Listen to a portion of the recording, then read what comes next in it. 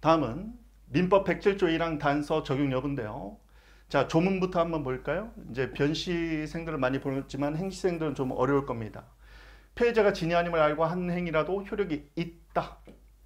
자, 진위 아님을 알고 한 것이더라도 이게 비진의 의사 표시인데 자신의 진짜 의사와 대적으로 표시된 행위가 다를 때입니다. 그런 경우에도 진위 아님을 알고 한 것이라도 효력이 있다는 것은 이건 표시주의예요.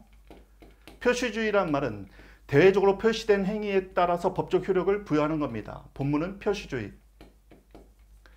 그런데 그런 의사표시의 상대방이 진위 아님을 알았거나 고의 또는 알 수 있었을 때 과실이 있었을 때는 그때는 진위에 맞게 무효로 한다. 이게 의사주의입니다.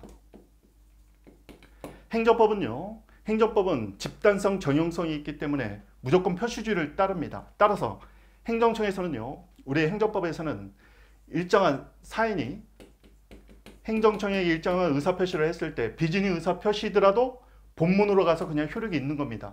즉 단서가 적용되지 않는다는 결론만 정확히 아시면 됩니다. 중요도는 좀 떨어져요. 자 일반법이 없다는 이런 표현은 꼭 써줘야 됩니다. 그리고 결론 판례는 민법 107조 1항 단서 비진의 의사표시 무효 규정은 준용되지 않는다. 사실 단서가 준용되지 않으면 본문으로 가서 그냥 유효하다는 의미입니다. 자 여기 단체성 정형성 그래서 표시주의 또는 객관주의가 지배하고 있다. 이 정도만 알아두시면 되겠습니다.